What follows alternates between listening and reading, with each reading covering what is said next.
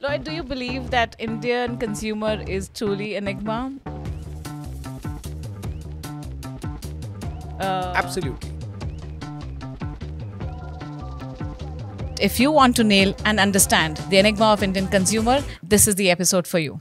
Behind the veneer of just one country, there is a series of subtext and subcultures. There is a lot of countries within countries, so to say. The moment a global company sees India as nothing but a market to repurpose their hmm. global content, I think that's where there's a hurdle. Indians, by definition, expect a bit of customization You need to have multiple strategy even if your product is single. because the market is truly different. What is the message and advice to Elon Musk?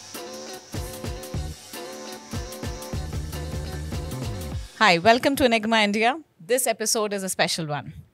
If you are a global business or an investor wanting to invest or do business in Indian markets, this is the episode meant for you. Indian consumer has been an enigma for I think more than a decade or century so to say. It's always been difficult to crack what Indian consumer really wants. India is a land of myriad culture, traditions, and complex demographics. Our consumers and customers have different expectations, and it's very difficult and sometimes tricky to nail what we really want.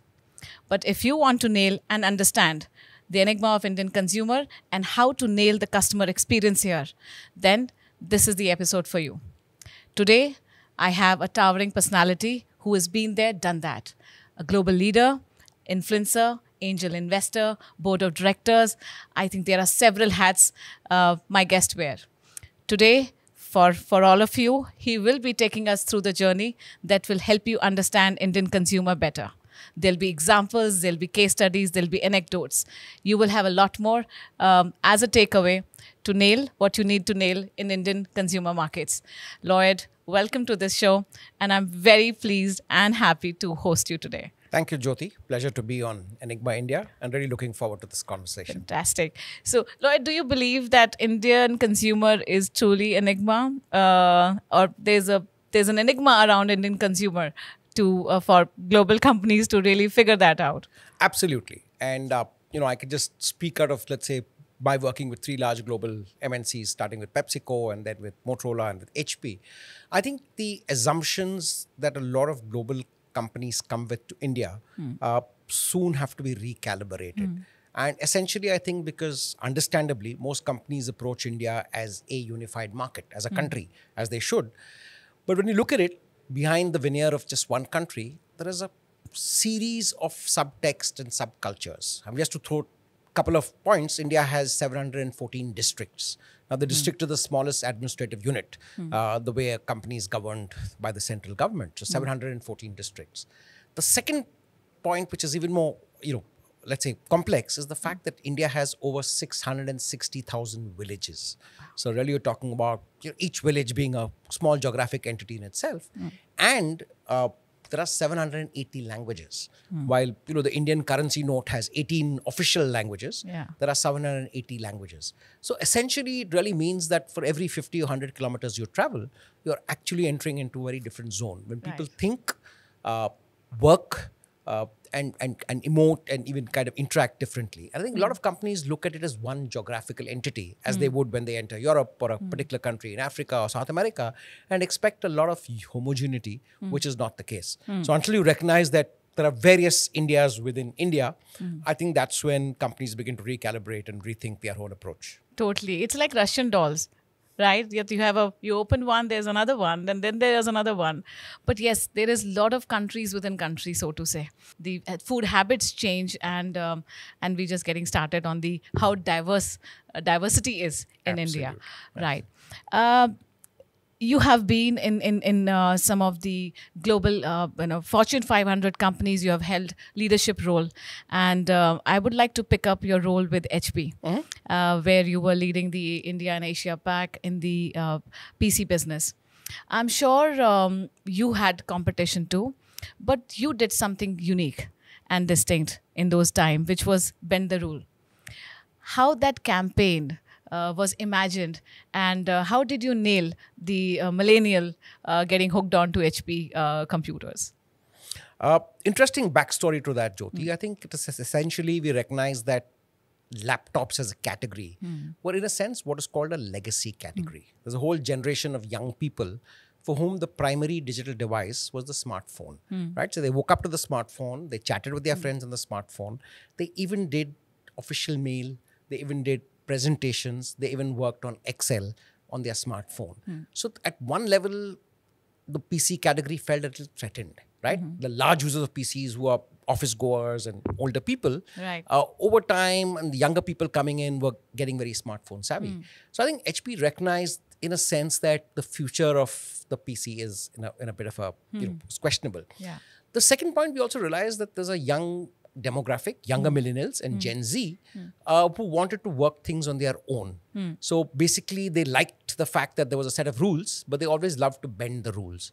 And therefore, in HP, we worked this whole campaign around what we call bend the rules, which is saying that typically and specifically in the context of India, young people work by a certain set of norms, but always can work around them without really upsetting the apple cart to work forward. So the whole theme was the campaign was bend the rules. It was hmm. also a process where HP was reinventing itself. Hmm. So the whole idea was that from a stodgy, staid, uh, hmm. relatively legacy category, how do you become contemporary? How do you work with the new generation of millennials? And therefore, the whole idea was bend the rules. Bend the rules had two dimensions. One was the fact that HP had just launched a laptop which could be turned 360 degrees. So you can effectively use it like a tablet, you could hmm. use it. So it was as versatile as a smartphone. Yeah. Obviously, it had immensely more computing power than a traditional smartphone that hmm. helped. And the whole campaign thought, uh, hmm. with, you know, HP had signed on Deepika Padukone for this Yeah. campaign. The whole campaign thought was the fact that young people do it very differently. You while they are in awe of their celebrities, they're not overwhelmed by them, right? Hmm. So the little storyline that the creative agency came through was the fact that a young person meets the beacon of light and is hmm. quite impressed, hmm. but doesn't get carried away and then has a worthy conversation. Also, the fact that office goers didn't have to be traditional suit wearing, tie wearing people sitting in the office. Yeah. You could be in a coffee shop and you could be running a multi billion dollar business. Yeah. So I think HP tried to bring that aspect. And that, in a sense, endeared the brand to the younger demographic and also helped a lot of young people realize that hmm. there are limitations to working with a smartphone. Hmm. When you still want to be more productive and you want to do great things, hmm. there's nothing like the PC. So, in a sense, it kind of bent the rules of communication. It also helped HP reinvent with a younger demographic. And more importantly, it brought out the versatility of the product. Right. I think you touched upon a very interesting point here that most of the time celebrities are brought in to endorse a product and we think that they're going to fix the whole issue. The way the Bend the Rule campaign was blended, and you mentioned traditions, you know, um, the traditional office goer is seen in suit, boot, and style. Uh, and which is my next question is. Um, there is a lot of cultural and traditional sensitivity around uh, customers. There's a lot of perception that we all of us carry, and some are unique to Indian consumers. Some some is of course a global thing.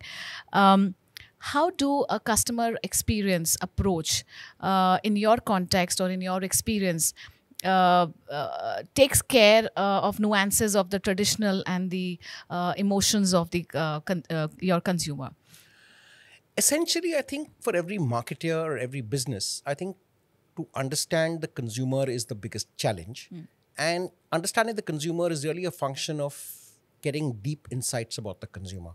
Uh, what you'll recognize is that in formal research, people tend to put on a certain veneer of what they want to hmm. communicate. Hmm. But when you observe people, you actually realize what really matters to them. Hmm. So I think understanding and working off consumer insight is the key element. Really understanding what is the local cultural context, what is the insight. Uh, in India, this adds a new dimension altogether, given the diversity. The hmm. fact that, like we said, every 100 kilometers, Yeah. uh, the consumer in some way is changing. Some things that are acceptable in one part are not hmm. so acceptable. Right. Then, of course, the diversity of language, the festivals, religions, and such like. Right. So I think that's the other part.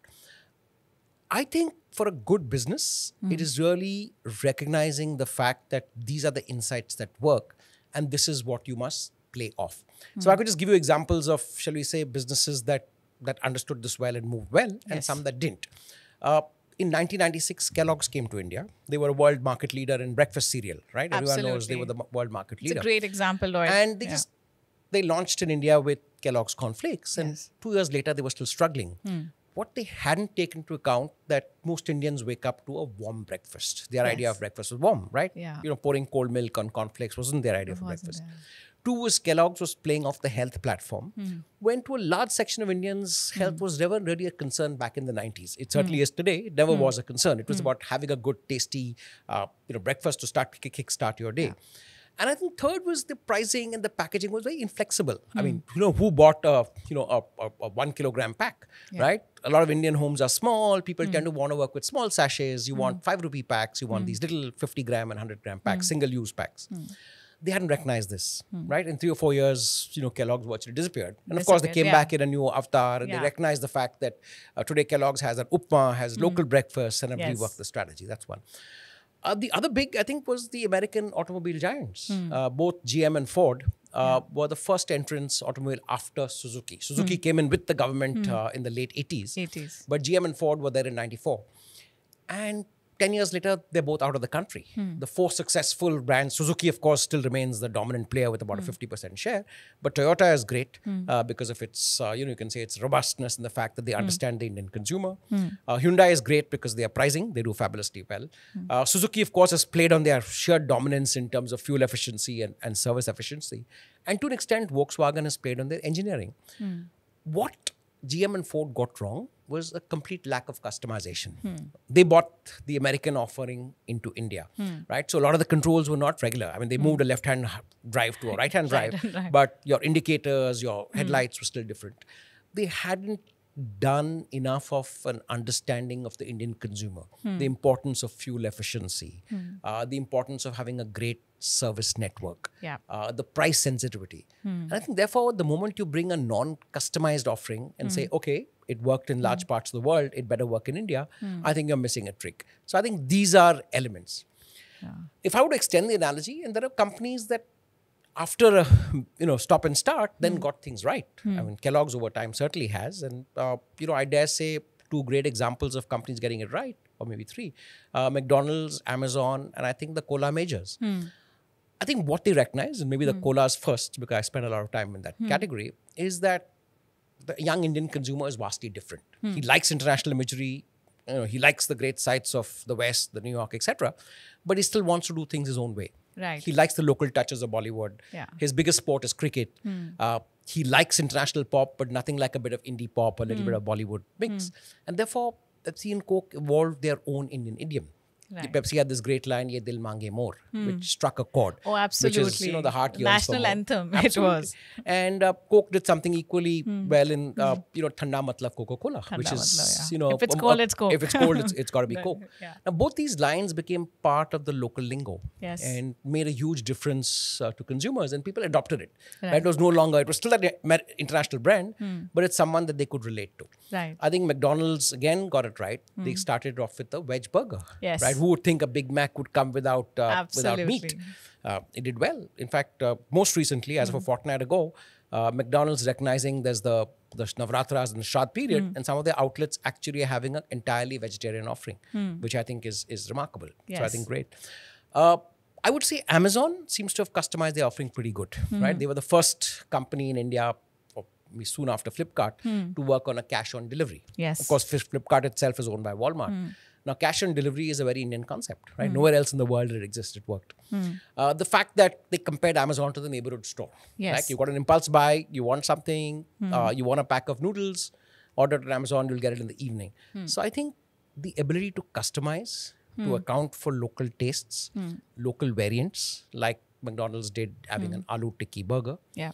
I think opens up a whole new market segment. Totally. And until you recognize and work with that, it'll always remain, you'll always remain a peripheral offering. So I would say Right. a lot of uh, you know global companies have got it right. And that's because they recognize that this Indian consumer is vastly different from the consumer they have elsewhere. And they gave their local management the freedom to experiment, to try out a few things, Right. and eventually succeeded. Totally. No, definitely. And, and just uh, Indian consumer is just not different just at a one level. It's different at expectations level. Sure. Uh, and um, so if uh, if we have to pick up a great case studies from Pepsi, Pepsi, Coke, MacD, uh, there's one thing which is pretty coming out pretty clear. You may be a global giant uh, universally, But when it comes to in entering Indian markets, I guess there are a lot of unlearning that you have to do on on uh, on our shores, and do that unlearning. Enter Indian markets, and I'm sure you will have chances to kind of build some ground uh, upward businesses here. There is a lot of element of customization and customization happens uh, when you know your consumers well. The examples that you gave are truly standing out uh, for uh, various elements the campaign itself the marketing language used the positioning of the product uh, and clearly identifying your target audience and doing everything around it uh, was also a, a, reason for success for uh, pepsi and coke. Uh, customization example of macd that you gave that truly stands out. Amazon, which has been the biggest beneficiary of India's demographic dividend, uh, has done tremendous amount of modification for the India business plans. Um, so what we are trying to say here is that um, the Indian consumer uh, is different from the point of view of its choices of buying, mm-hmm. how it buys, at the price point it buys, uh, delivery options, or experience he gets by wearing or you know uh, holding the bottle in hand and how it's been communicated to the, uh, to the consumer. Sure. no that's a tremendous amount of maze to deal with right? Do you think these international you know companies that have cracked the code um, i'm sure it wasn't easy for them but which are the companies in india that you think has truly nailed the consumer experience? And uh, is it because of the indian leadership on top and indian founders? Which are the companies you think has got it bang on when it comes to nailing? I think loads of companies, and like I said, this process is never one off. It's about mm. fine tuning. Mm. But I'll just get back to a couple of thoughts. I think mm. besides the fact that the Indian consumer is different, hmm. I think there's also recognizing the Indian ambience, hmm. uh, the fact that we live in a world that's vastly different. I'll give yeah. two, you know, one very famous example. Hmm. Uh, it's about this global mall developer that came to India and had a set pattern that to run mm. a mall of X amount of square feet mm. uh, with, let's say, 200 stores, this is the amount of staff you require, right? So mm. you account for security, you account for mall staff, you account for admin and housekeeping, and this is what it is. And suddenly they found that the Indian number was just not working out. And then on a closer observation, you recognize that in a lot of the early malls that came up, hmm. you actually had to deploy a hmm. security guard at every escalator hmm. because there was always a case of an older person who was scared to get onto the escalator or a lady whose, you know, clothing or apparel or sari gets stuck into the stairs. Now, suddenly, when you tot that up, you suddenly realize that, hey, this never happened elsewhere. So, yeah. these are small nuances right. of the Indian consumer. I'll give another example. Back when uh, I was in Motorola, hmm. the average sound of a caller tune in a phone hmm. was set at a certain level, hmm. which was very acceptable to hmm. most international markets, hmm. where the overall ambient sound is much lower. Hmm. And here you're talking of Indian markets where there's a huge din, yeah. right? So if you set it at the global standard, yeah. you'll never hear your phone ring. so it was like double the level, yeah. right? Which uh, you know the R and D folks thought was like hugely mm. disturbing. Mm. And then we have to recognize that this is how Indian consumers wanted it because mm. this is the kind of ambient sound. It's a hmm. noisy, crowded place in most parts of the country. Hmm. So I think these little nuances come over time. Hmm. And if I were to look at companies uh, that, in a sense, have nailed it, I think there are a lot that have got it right. For me, you know, the benchmark in the consumer goods has always been uh, Unilever hmm. right? A lot of their product offerings have a sharp degree of Indian customization. Yes, I think right, adding yeah. adding aromas and hmm. flavors, hmm. and I think hmm. that's pretty good. Yeah. Uh, I think, yeah, to an extent, I would say with Ariel, Procter and Gamble have slowly worked the code. Yes. Right? Initially, their mm. focus was on cleanliness. Mm. Then they realized that a larger social messaging helps. Yeah, daag achhe hai is what you're referring. Yeah, that was the lever one the lever for, for, one, for yeah. Surf Excel. Mm, I Surf think uh, Ariel realized that that yeah. position was taken right. by, uh, by by by uh, Unilever with right. Surf, mm. uh, and Ariel created the whole thing saying that Indian society is very patriarchal. Yeah. So they used a kind of social message campaign, which is yes. share the load, yeah. Uh, reminding that yes, laundry is not just a woman's job, right. and that certainly made a lot of people rethink and say, hey, uh, mm. that's a very interesting proposition. Right. Uh, like I said earlier, Pepsi and Coke mm. pretty much understood. So a lot of their communication has global cues, yeah. but it's still very Indian in style, mm. in execution. In a lot of the events they do, they do right. music, which is Coke does Coke Studio, hmm. which is taking a whole range oh, of yes. artists from the Indian subcontinent. Yes. Uh, Pepsi does a lot of cricket, but they do a lot of things with a hmm. very local stance. So I think they're good. I think both the e-commerce majors, which is Amazon and Flipkart, owned mm. by Walmart, I think have cracked a lot of it. The Right. fact that uh, you know they've realized that speed of delivery is important, Hmm. but as much as speed of delivery is also convenience. The fact that Yeah. Can the delivery person leave the package outside, especially when COVID was around, Yes. when people weren't allowed. So I think companies over time Hmm. customize their offerings and get a lot of it right Right. as is obvious b2c companies and d2c companies get it hmm. first because they're hmm. dealing with end consumers. Hmm. I think b2b takes a little while longer but i think over time a lot of them do. The two key metrics that work for companies that get it right i think one is recognizing that a lot of the innovation will originate from the local market. Hmm. So until you get your indian management suitably empowered hmm. to take those calls hmm. as long as they don't offend any brand guidelines or business guidelines i think that works the best. So i think Right. one is to get the indian management. The second i think equally important is to have a good relationship with the local regulators and distributors Right. right? Because a lot of the feedback is from the intermediaries. Hmm. Uh, it may not necessarily come from your own teams. Hmm. So you actually have to go out and listen to the voice of the consumer hmm. not just the end consumer but also the intermediaries. The Right. distributors the store level guys a lot of them would give you feedback.